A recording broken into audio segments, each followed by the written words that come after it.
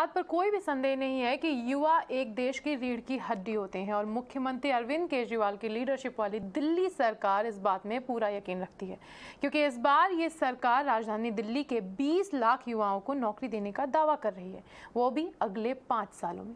चलिए दिखेता है इसकी एक झलक।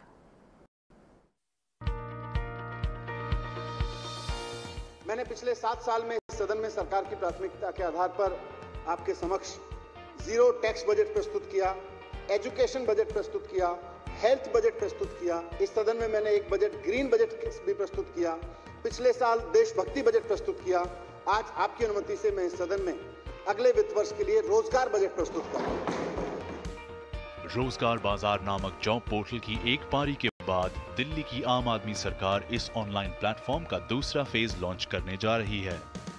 रोज़गार बाज़ार 2.0 पोर्टल को साढ़े चार हज़ार करोड़ रुपए की शुरुआती लागत के साथ लॉन्च किया जाएगा, जिससे कि दिल्ली के 20 लाख युवाओं को अगले पाँच सालों में नौकरी दिलाई जा सके।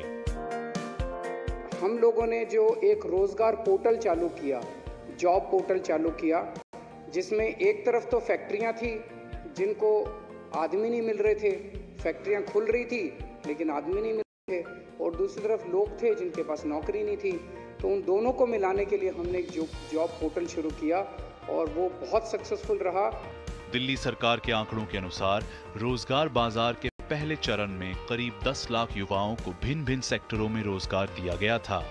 30 जून 2022 तक पिछले रोज़गार बाज़ार में 19,402 यूनिक एम्प्लॉयर्स ने भाग लिया था और करीब 15 लाख बेरोजगार युवाओं ने रजिस्टर किया। जो चीज़ मैं अदर पोर्टल में बहुत काफ़ी लंबे टाइम तक नहीं कर पाया वो रोज़गार बाज़ार के साइड से मैं सिर्फ़ एक दिन में मेरे को वो चीज़ मिल गई। जब मैंने इस पर प्रोफ़ाइल बनाया तो मुझे इंस्टेंट रिज़ल्ट मिला और एग्जैक्ट मुझे वही मिला जो मुझे चाहिए था क्योंकि मेरा यही था मुझे सेल्स का जॉब चाहिए और वो जिसमें लिमिटेड लाइंस ना हो। जो भी मेरा एक्सपीरियंस है उसके हिसाब से मुझे मतलब कि काफ़ी अच्छी सैलरी भी मिली है।